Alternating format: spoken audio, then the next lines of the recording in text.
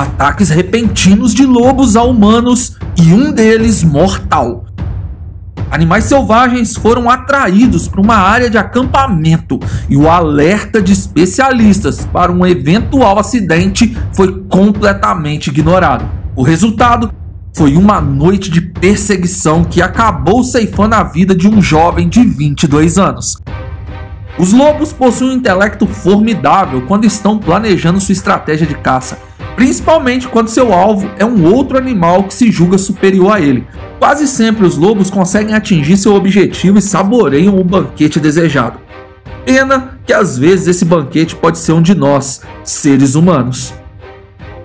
Esse é o Ordinário Selvagem e hoje você vai conhecer a história dos lobos negros de Point Northland e como essa história acabou virando um grande marco, sendo classificado um dos primeiros casos verificados em que lobos abateram humanos na América do Norte. Então já deixa logo o seu like se ainda não é inscrito, se inscreva, é de graça e nos ajuda muito.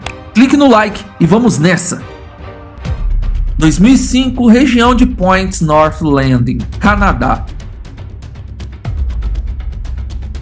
Point North Landing, no Canadá, é uma vasta área que conta com pontos de conservação, casas de campo, muitos locais de acampamentos e algumas minas de extração de urânio em locais mais isolados que também atraem muitos geólogos para pesquisa.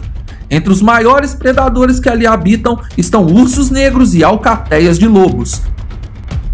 Nas áreas de acampamento, a orientação é para que as pessoas levem consigo após sua saída todo o lixo gerado e o descartem longe dali, pois os detritos podem atrair ursos e lobos, colocando a segurança das pessoas em xeque.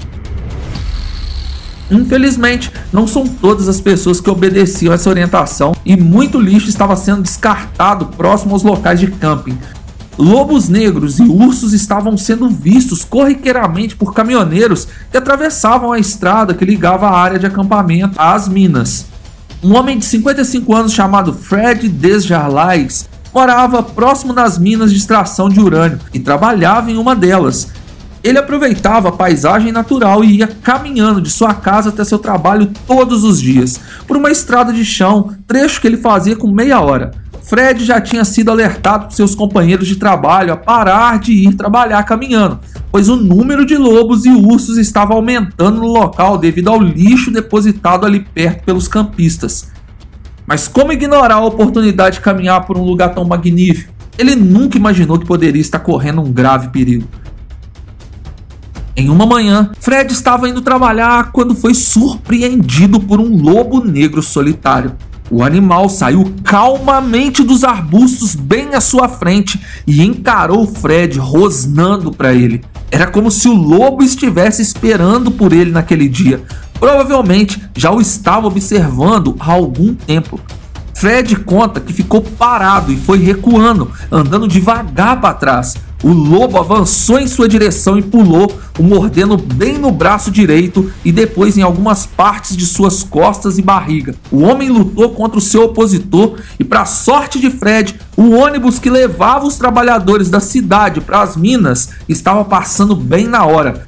O motorista parou e os trabalhadores que estavam no ônibus desceram gritando: prontos para atacar o lobo e salvar a vida de Fred, mas só os gritos foram o suficiente para espantar o grande lobo negro que saiu correndo mata dentro. Em uma entrevista para a CBC Saskatoon, o homem contou que quando o ônibus chegou, o lobo estava com a boca aberta tentando morder seu rosto. Fred foi levado às pressas para o hospital. Como ele estava com um casaco grosso de frio, as mordidas não conseguiram arrancar pedaços da sua carne, Porém, ele ficou muito ferido, sendo submetido a um tratamento contra a raiva e outras doenças. Devido ao ataque do lobo negro, as minas foram cercadas para evitar que esse e outros lobos pudessem adentrar no espaço onde os trabalhadores estavam. Alguns meses depois, em novembro de 2005, um grupo de geólogos acamparam ao redor das minas para estudar a estrutura rochosa da região e como ela estava sendo afetada pela mineração. Eles foram alertados para não ficarem sozinhos e não saírem do espaço cercado ou as suas vidas poderiam correr perigo. No grupo de geólogos estavam alguns estudantes, entre eles Kenton Joel Carnegie, de 22 anos. Kenton estudava engenharia geológica em Ontário, Canadá, e tinha sido convidado a participar do estudo devido ao seu desempenho alto na universidade. Kenton era um rapaz jovem, muito inteligente e cheio de sonhos, mas de espírito aventureiro. O grupo de pesquisadores ficariam acampados por uma semana e logo no primeiro dia, por volta das quatro da tarde, Kenton saiu para caminhar sozinho. Ao retornar às sete da noite já estava escuro e o professor líder da equipe o pediu para não se arriscar e não fazer aquilo novamente. No outro dia pela manhã, Kenton e os demais pesquisadores foram almoçar juntos com os mineiros para coletar informações sobre o trabalho deles e avançar em sua pesquisa. O jovem rapaz estava conversando com o motorista de um dos caminhões da mina e depois de anotar tudo o que precisava, ele ficou ali por mais algum tempo batendo papo. Foi aí que ele disse ao motorista que no dia anterior ele foi caminhar sozinho e encontrou filhotes de lobos, tirou algumas fotos e estava ansioso para voltar à cidade e revelar as imagens que teria feito. O caminhoneiro ficou assustado e falou com o jovem que ele estava se arriscando demais, que lobos não são cachorros domésticos e que se ele encontrasse com algum lobo adulto poderia ser fatal. Era 8 de novembro de 2005, quando Kenton decidiu sair mais uma vez sozinho, dessa vez para nunca mais voltar. Tinha nevado muito durante o dia e a paisagem estava coberta de neve. O jovem rapaz informou que iria sair da área cercada e o líder da equipe disse que seria a última vez ou ele teria que abandonar a pesquisa. Kenton saiu às 5 e meia da tarde com a promessa de retornar uma hora depois, às 6 e meia, e encerrar ali suas aventuras. A noite caiu e já eram sete e meia e nada de Kenton retornar. Equipes de buscas foram organizadas e naquela mesma noite, nem perto dali, Kenton foi encontrado sem vida, com suas roupas rasgadas e múltiplas mordidas por seu corpo. Ele só estava inteiro devido às camadas de roupas que o rapaz usava, o livrando de ser despedaçado, mas não de ter sua vida ceifada polícia acionou uma investigação forense e recriou toda a trágica cena graças às marcações na neve, que indicavam a presença de dois lobos, um na frente e outro atrás de Kenton. Uma tentativa de fuga por parte do rapaz e muitos sinais de luta. De acordo com a investigação, Kenton estava caminhando quando parou, pois viu o lobo adulto à sua frente e logo percebeu que havia outro atrás dele. O lobo que estava atrás já estaria o perseguindo há algum tempo, pois na neve foi possível ver seu rastro acompanhando de Kenton. O homem teria tentado correr para o lado, mas os lobos foram mais rápidos e o jogaram ao chão. Sinais de luta estavam por todo o local e a autópsia indicava que Kenton foi vítima de ataque de animais selvagens, no caso, dos lobos.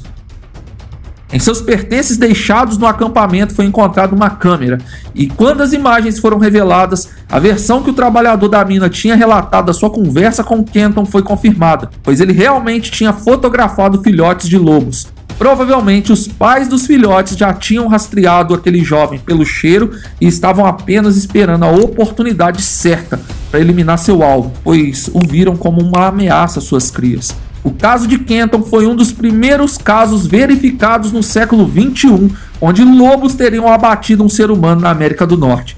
Existem muitos outros casos, mas até então nenhum deles tinha um relatório policial tão detalhado como esse, por isso, lembre-se que em território selvagem quem manda não somos nós, e sim os animais que lá vivem. Antes de sair do vídeo, veja nosso Instagram que está aparecendo na sua tela e nos siga por lá para saber de todos os nossos canais aqui no YouTube. Por favor, deixe seu like e considere se inscrever em nosso canal. Aproveita e maratona todo o nosso conteúdo. Obrigado por assistir. Fui!